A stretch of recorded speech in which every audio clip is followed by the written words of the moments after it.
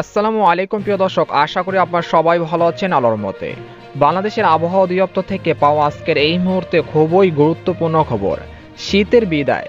এবার পাল্লা দিয়ে বাড়বে দিন ও রাতের তাপমাত্রা। মার্চ মাসেই শুরু হচ্ছে তীব্র কালবৈশাখী ঝড় ও বজ্র বৃষ্টি। এমনটা জানাচ্ছে বাংলাদেশের আবহাওয়া অধিদপ্তর। এই ঝড় বৃষ্টি কবে, কখন, কোন কোন জেলা হবে কি জানালো আজকের আবহাওয়া রিপোর্টে জানিয়ে দেব সম্পূর্ণ বিস্তারিত ভিডিওদের সঙ্গে থাকুন। আর আপনি কোন জেলা থেকে আমাদের আবহাওয়ার খবরটি দেখছেন, অবশ্যই কমেন্ট করে জানাতে পারেন। আর সবার আগে সবার প্রথম সঠিক আবহাওয়ার খবর জানতে আমাদের চ্যানেলটিকে সাবস্ক্রাইব করে রাখুন। এবার জেনে নিন এক নজরে। সারা দেশে কমতে শুরু করেছে শীতের আমেজ।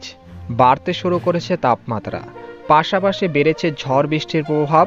চলতি মার্চ মাসে দু থেকে তিন দিন তীব্র কালবৈশাখী ঝড় বা বজ্রঝড় হতে পারে বলে পূর্বাভাস দিয়েছে আবহাওয়া অধিদপ্তর।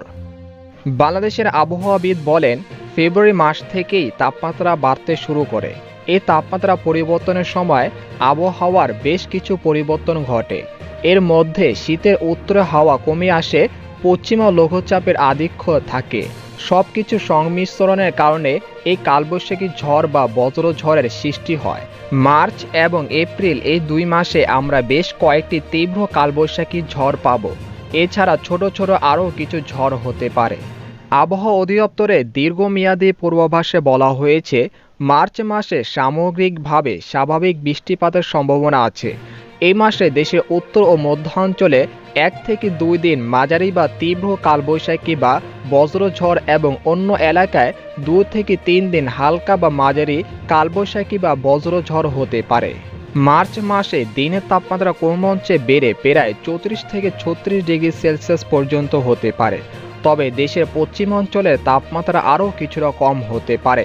আবহাওয়াবিদ হাফিজুর রহমান বলেন ফেব্রুয়ারির শেষ থেকেই আমরা এবার কালবৈশাখী ঝড় পেলাম। তবে সাধারণত মার্চ মাস থেকেই শুরু হয় কালবৈশাখী। আগামী মাস থেকে বেশ কয়েকটি ঝড়ের পূর্বাভাস আছে।